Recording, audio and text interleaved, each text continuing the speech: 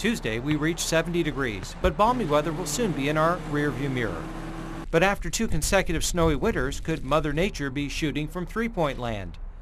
Migratory waterfowl on Heron Pond at Three Creeks Metro Park in southeastern Franklin County found a rest stop along the Alum Creek Greenway, a sign of winter. Folklore would tell you that animals gathering lots of nuts means that we're going to have a really severe winter. But it's really more about how much fruit is out here in nature already. An autumn hike will reveal the handiwork of some furry friends.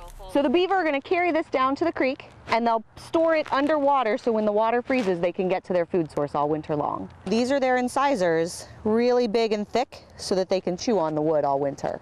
Deer rubs are also visible in the woods. They rub their antlers here as part of their mating season, so it's how they're going to let the females know that they're here and available. Right now, nature is crawling with signs of winter. This guy is showing us that we're going to have a pretty mild winter. Some believe the 13 segments of the woolly bear caterpillar each represent a week of winter.